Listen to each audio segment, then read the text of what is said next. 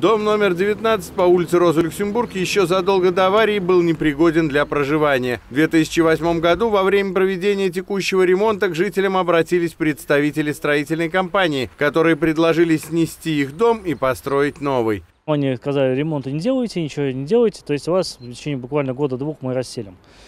А, Потом началась вот эта непонятная какая-то тягомотина. То они нас сносят, то не сносят, то документы, то строим, то не строим. И все кормили завтраками там год, там может полгода. Так тянулось, тянулось. Три соседних дома застройщики все же снесли, а всех жителей переселили в новый жилой дом по улице Бакинской. Жителям 19-го дома повезло меньше. Для них не хватило квартир, поэтому новый дом под красивым названием «Жилой комплекс Лидер» для них начали строить рядом со старым. Однако Лидер сразу стал отставать в сроках, превратившись в банальный долгострой. Все было бы ничего, если бы на Роза Люксембург 19 строительная компания не приобрела пару квартир на верхнем этаже в собственность. Это 10-12 квартира, а, которые они абсолютно не присматривали, квартиры бесхозные, у них неоднократно были бомжи, наряды милиции приезжали, их забирали, выкидывали, все заявление в Ленинском РУВД все эти есть, сам лично писал.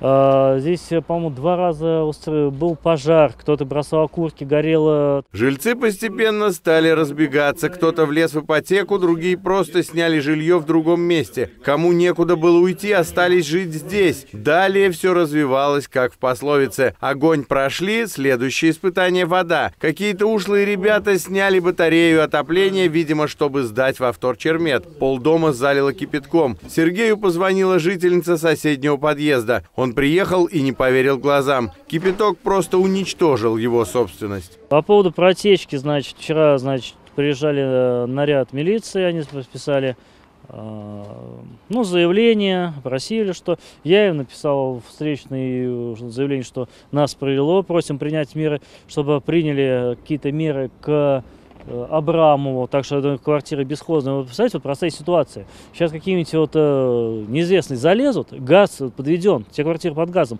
Они откроют газ, и дом разнесет в клочья.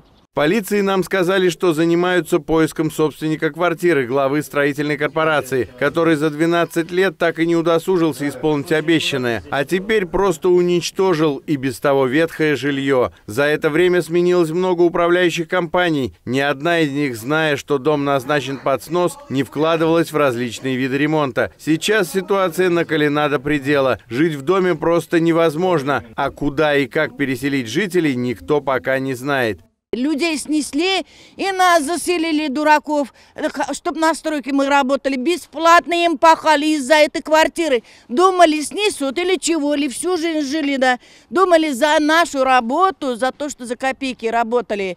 Снесут и квартиру дадут. Остались в дураках. Новая управляющая компания, пришедшая в этот дом в ноябре, постепенным устранением бедствия заниматься готова. Энергетики и сварщики готовы работать, дом уже частично отапливается. Однако простого обслуживания дому уже мало. На данный момент мы пришли по обращению, у нас была аварийная ситуация. Вот, то есть на, да- по аварийной ситуации мы обязаны отреагировать. В Министерстве энергетики заявили, что будут готовить документы на администрацию города, чтобы та признала дом негодным для проживания и пристроила наконец-то неприкаянных жителей Роза Люксембург-19. Большие надежды все ведомства, как и жители, возлагают на полицию, а горе-застройщик, так щедро раздававший обещания в 2008 должен наконец-то ответить за свои слова и поступки. Пройдут ли последние испытания жителей, так сказать, медными трубами и чиновничьей бюрократией, мы узнаем чуть позже. Улправда следит за ситуацией. Павел Половов, Юрий Конихин, Новости Улправды ТВ.